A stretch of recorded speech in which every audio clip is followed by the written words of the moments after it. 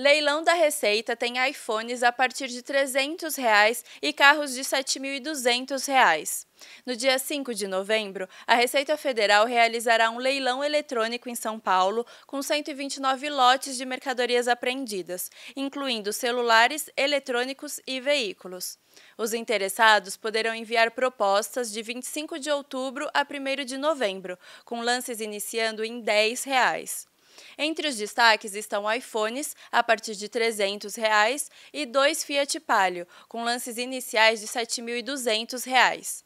Para participar, é necessário ser maior de 18 anos e ter registro no CPF ou CNPJ, além de atender a requisitos específicos de confiabilidade no sistema digital do governo.